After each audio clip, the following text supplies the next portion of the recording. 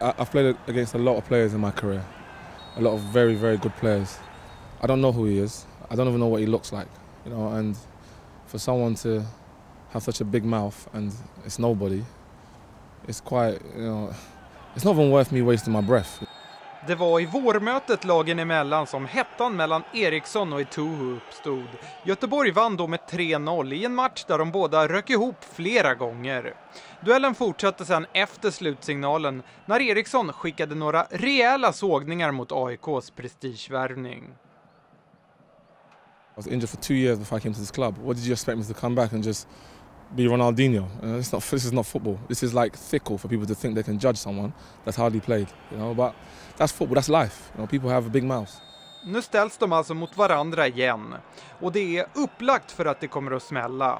Men själva tonar de ner den förväntade matchen i matchen. Nej, jag vill inte prata om den så mycket. Eh, det kommer bli en tuff match eh, där uppe i Stockholm och eh, det kommer nog smälla på, på de flesta håll hoppas jag. Massmedia har nog snackat om det, men spelarna tror jag inte bryr sig så mycket om det utan de vill göra det som de ska göra för att respektive lag ska vinna matchen. Så det är nog mer en massmedia-duell tror jag.